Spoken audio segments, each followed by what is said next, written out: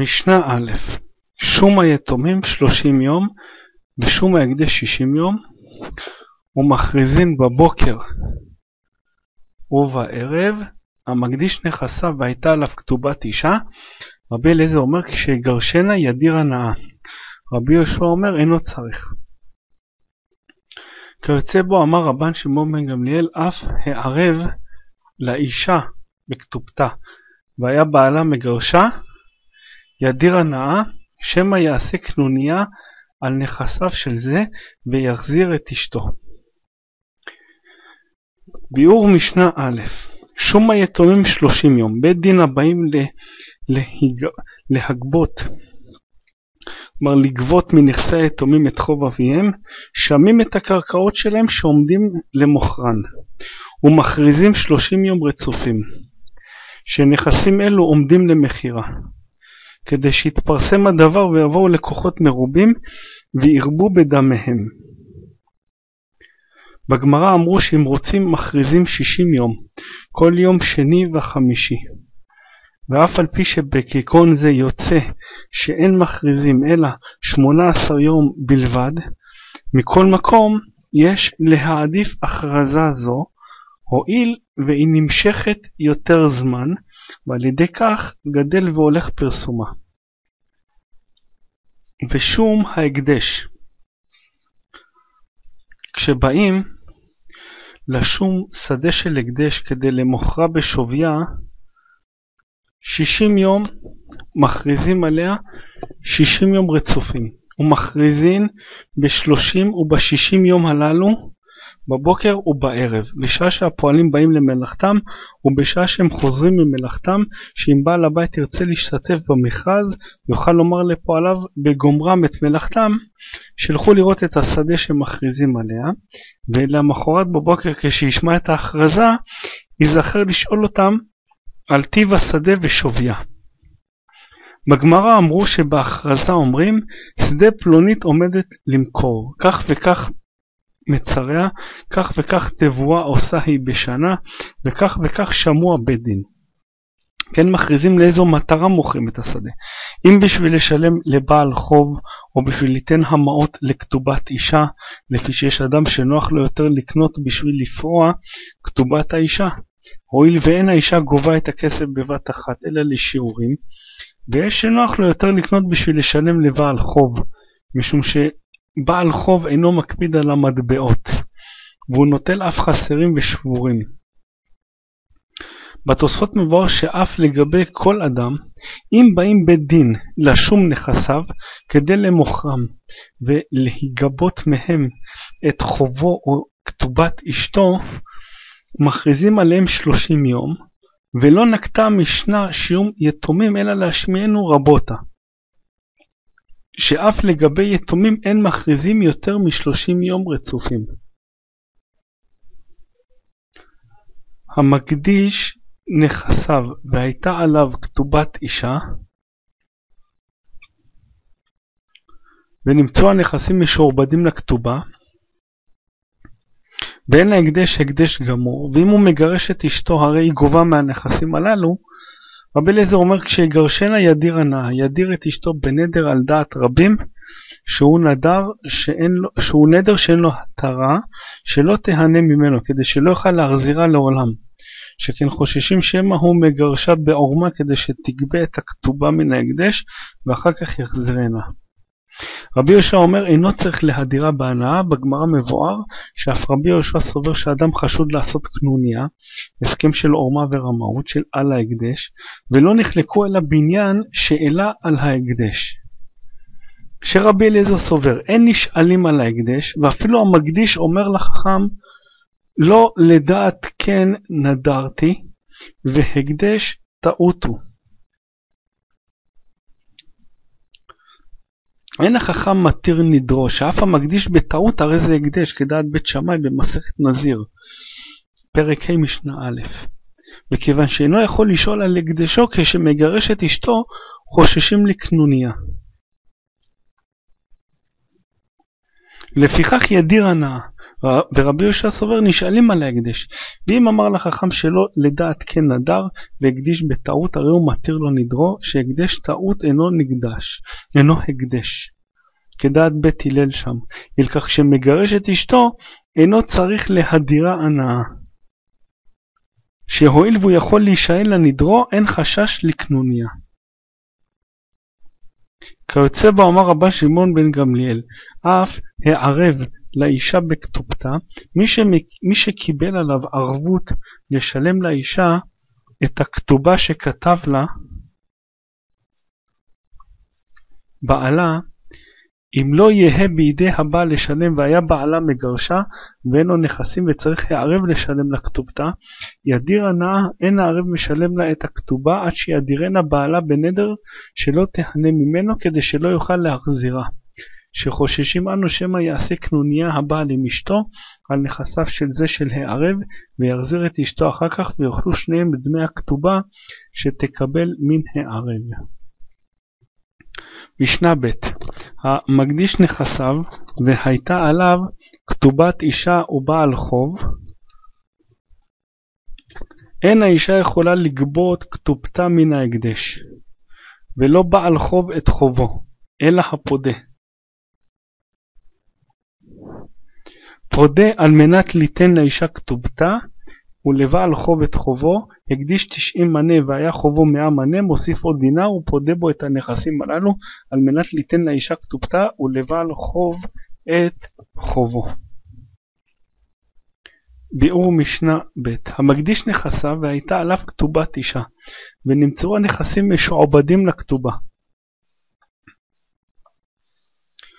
וכגון שקדמו הגירושין להקדש ואין כאן חשש לקנוניה. הוא בעל חוב שבעל חוב תובע ממנו חובו והנכסים משועבדים לחוב זה, אין האישה יכולה לגבות כתובתה מן ההקדש ולא בעל חובו את חובו אף על פי שאין הקדש דמים מפקיע מידי שעבוד. כלומר שאין אדם יכול להקדיש את נכסיו המשועבדים לכתובה ולבעל חוב, מכל מקום אם הקדיש אותם, אין האישה יכולה לגבות כתובתה ולא בעל חוב את חובו מנכסים אלו, שלא יאמרו הבריות הקדש יוצא בלא פדיון. אלא הפודה פודה על מנת ליתן לאישה כתובתה ולבעל חוב את חובו. כלומר אם שוויים של הנכסים הוא יותר מסכום הכתובה והחוב, כל הרוצה לפדות את הנכסים מן ההקדש פודה אותם בדמיהם היתרים על סכום הכתובה והחוב, כגון אם הכתובה 200 זוז והחוב 100 זוז והנכסים 350 זוז, אין הפודה צריך ליתן להקדש אלא 50 זוז בלבד. ועל ידי כך יוצאים כל הנכסים לחולין, שהרי כנגד החוב לא חל ההקדש, ואף נראה כאילו פדה הכל, ולא יאמרו שיצא הקדש בלא פדיון. והפודה חייב ליתן לאישה את כתובתה, ולבעל חוב את חובו. הקדיש תשעים מנה, אם נכסיו שהקדיש שוויים שווים תשעים מנה, תשעת אלפים זוז, והיה חובו מאה מנה. עשרת אלפים זוז, ונמצא חובו מרובה על ערך הנכסים שהקדיש, ואין כלום להקדש,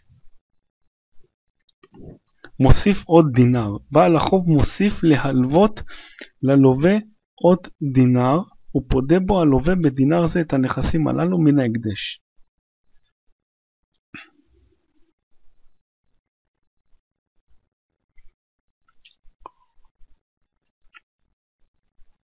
כדי שלא יאמרו הקדש יוצא בלא פדיון, על מנת ליתן לאישה כתובתה ולבעל חוב את חובו. בגמרא מבואר שמשנתנו באה להוציא מדברי רבן שמעון בן גמליאל, שכן בברייתא ששנינו. רבן שמעון בן גמליאל אומר, אם היה חובו כנגד הקדשו, פודה בדינר. ואם לאו שחובו היה יותר מקדישו אינו פודש. אנו אומרים הואיל והלווהו סכום שהוא מרובה על ערך נכסיו, לא על דעת לגבות מאותם הנכסים הלווהו, אלא משום שהיה נאמן עליו שיפרעהו, אל כך אינו גובה חובו מנכסיו שהקדיש. ובאה משנתנו לחלוק על רבן שמעון בן גמליאל, שאפילו הקדיש תשעים מנה והיה חובו מאה מנה, הרי הוא גובה מן ההקדש על ידי פדיון בדינר. מכאן נקטה המשנה. דוגמה זו שהחוב היה יתיר על הקדשו ולא בכגון, שהיה, ולא בכגון שהחוב היה כנגד הקדשו. ברמים הנכסים שווים פחות ממחצית החוב. הכל מודים שאינו גובה מן ההקדש, שוודאי לא על דת נכסים אלו הלווהו, הואיל ואין אדם קונה קרקע במחיר כפול משוויה. משנה ג' אף על פי שאמרו חייבי ערכין ממשכנין אותן, נותנים לו מזון שלושים יום, וכסות שנים עשר חודש, ומונתה מוצעת וסנדלין ותפילין. לא, אבל לא לאשתו ולא לבניו, אם היה אומן, נותנים לו שני כלי אומנות מכל מין ומין, חרש נותנים לו שתי, שני מעצדין ושתי מגירות, רבי אליעזר אומר, אם היה עיקר, נותנים לו את צמדו. חמר, נותנים לו את חמורו. ביאור משנה ג' אף על פי שאמרו שחייבי ערכין ממשכנין אותן, שגזבר ההקדש נכנס לבתיהם ונוטל מהם משכונות בעל כורחם כנגד מה שנדרו, נותנים לו, היינו משאירים לו מזון שלושים יום שאין נותנים ממנו את המזון או את המעות לקנות מזון הנצרך לשלושים יום. וכסות עשר חודש ובגדים שהוא צריך להם עשר חודש ומיטה מוצעת הדרושה לו לישון עליה. וסנדלין ותפילין ובכל אלו, אם אין לו, משיירים לו מעות כדי לקנותם. בגמרא מבואר הטעם שנאמר בפרשת ערכים, ואם מחו מערכך ודרשו חכמים, החייהו מערכך, שכן משמע הוא מערכך, תן לו הוויה וחיות מדמי הערך. לא נותנים אבל לא לאשתו ולא לבניו, שאין משערים לו מה שצריך לפרנסת אשתו או בניו, אף על פי שהוא חייב במזונותיהם או בכסותם, שדורשים הוא מערכך ולא אשתו או בניו מערכך. אם היה אומן, נותנים לו שני כלי אומנות, מכל מין ומין, כמו שהמשנה מפרשת והולכת. חרש, כגון אם היה חרש, היינו נגר, נותנים לו שני מעצדין ושתי מגירות, שאם יישבר אחד ויצטרך לתקנו, יעשה בינתיים את מלאכתו בכלי האחר. מעצד הוא מין גרזן קטן ומגירה היא מין מסור. רבי אליעזר אומר, אם היה עיקר, נותנים לו את צמדו, צמד בקר לחרישה. חמר אם היה חמר היינו מוליך סחורה על חמור, חמור מעיר לעיר נותנים לו את חמורו שצמד בקר לעיקר וחמור לחמר דינם ככלי אומנות ואין הלכה כרבי אליעזר שאין אלו נחשבים ככלי אומנות אלא כשאר הנכסים. משנה ד' היה מין אחד מרובה ומין אחד מועט, אין אומרים לו למכור מן המרובה ולקח לו מן המועט, אלא נותנים לו שני מינים מן המרובה. וכל שיש לו מן המועט, המקדיש את נכסיו מעלין לו את תפיליו. ביאור משנה ד' היה לאומן כשבאו למשכנו בעד הערך שקיבל עליו מין אחד מרובה כגון שהוא חרש והיו לו שלושה מעצדים ומין אחד מועט, כגון מגירה אחת. אין אומרים לו למכור את המרובה ולקח לו מן המועט, שימכור מעצד אחד ויקנה לו עוד מגירה כדי שישתיירו לו שניים מכל מין ומין. אלא נותנים לו שני מינין, מן המרובה, משיירים לו שני מעצדים ונוטלים ממנו מעצד אחד. וכל שיש לו מן המועט ומשיירים לו מה שיש בידו מן המועט. אין לו המגירה אחת ואין קונים לו עוד מגירה, כש, שכשם שהסתפק במגירה אחת עד כה, כך יסתפק בה גם להבא. בגמרא מבואר שאף על פי שאפשר לומר עד כה היו אחרים משאילים לו מגירה משום שיכול היה להשאילם את מעצדו המיותר, אבל עכשיו שנוטלים ממנו מעצד אחד ולא יהיה לו מה להשאיל לאחרים, לא ימצא מי שישאיל לו מגירה מכל מקום באה המשנה להשמיענו, שאין אומרים כך, אלא משיירים לו שני מעצדים והמגירה האחת, היינו שני כלי אומנות מן המרובה, ומה שיש בידו מן המועט. המקדיש את נכסיו, מי שהקדיש כל נכסיו, מעלים לו את תפיליו. כלומר, שמים לו את תפיליו בדמים, והוא נותן להקדש את שוויים, שאף התפילים בכלל נכסיו הם, וצריכו לפדותן מן ההקדש. משנה ה' אחד המקדיש את נכסיו ואחד המעריך את עצמו אין לו אין לא, לא בכסות אשתו ולא בכסות בניו ולא בצבע שצבען לשמן ולא בסנדלים, חז... ולא בסנדלים חדשים שלקחן לשמן אף על פי שאמרו עבדים נמכרים בכסותן לשבח שאם תילקח לו כסות בשלושים דינר משביח ומנה וכן פרה, אם ממתינים אותה לאטליס, משבחתי, וכן מרגלית, אם מעלין אותה לכרך, משבחתי, אין להקדש, אלא מקומו ושעתו. ביאור משנה ה' אחד המקדיש את נכסיו, ואחד המעריך את עצמו, בין המקדיש את נכסיו, ובין המקבל עליו ליתן את ערכו להקדש, אין לו להקדש, ויש מפרשים אין לו לגזבר ההקדש ליטול, לא בכסות אשתו ולא בכסות בניו לפי שאינן שלו, ולא בצבע שצבען לשמן, שצבע, שצבע בו את הבגדים לשם אשתו ובניו, אף על פי שעדיין לא לבשו אותם, ולא בסנדלים חדשים שלקחן לשמן, שאף על פי שלא נעלום עדיין, הרי הן בחזקתן משעת לקיחה, אף על פי שאמרו עבדים נמכרים בכסותן לשבח, שמלבישים את העבדים כסות נאה כדי שיראו משובחים ויפים, שאם תילקח לו כסות ב-30 דינר, משביח ומנה, שהכסות היפה שמחירה 30 דינר, משבחת את דמי העבד ב-100 דינר, יתיר על שוויו בלא אותה הכסות. וכן פרה, אם ממתינים אותה לאטליז, אם ימתינו במכירתה ליום השוק שמוכרים בו בהמות, משבחת היא שתימכר אז ביוקר. וכן מרגלית, אם מעלין אותה לכרך, שמצויים שם קונה מרגליות, משבחת היא שתימכר שם במחיר יקר. בכל מקום, אין להקדש אלא מקומו ושעתו.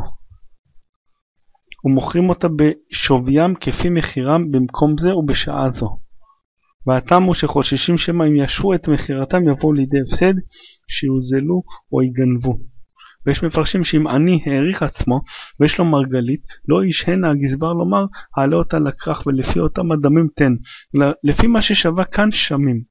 וזה העני, משעה אותה וימכרנה כמו שירצה, ולפי השומה הקודמת ייתן, אשר בזמן שהעריכו הכהן, לא היה לו יותר. ברוך אדוני לעולם, אמן ואמן.